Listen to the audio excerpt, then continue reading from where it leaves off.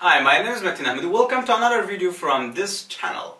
In this tutorial video, I'm gonna show you how you set a custom vibration on iPhone for your custom contact.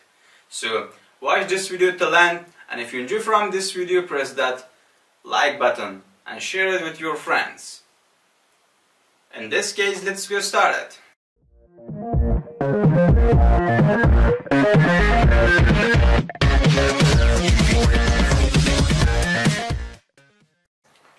For setting custom vibration on iPhone, come in your contact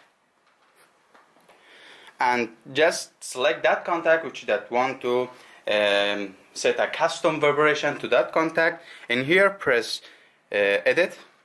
And here, scroll down in here, ringtone, collect it.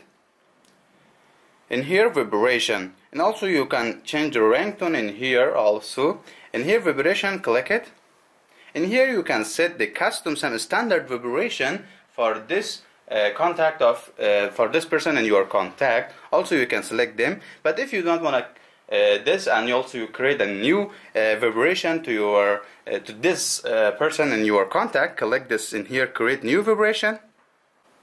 In here if you tap it record your vibration pattern just tap as you want you and for your favorite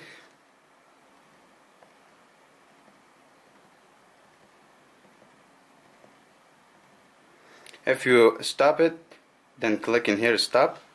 In here you can save this. Just um, give it a name like the person. And also you can set uh, the name of by, by name of some person. Just save it. In here you see custom that name that you save. In here just back. In here click done you see the vibration in here ringtone vibration and name it that that uh, vibration that you want in for custom. In here just click done.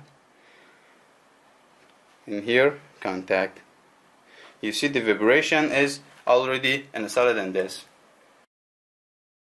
Thank you all of your friends to watch this video to end and if you like more videos like this press the subscribe button and if you don't want to miss any update from this channel, so press that bell icon.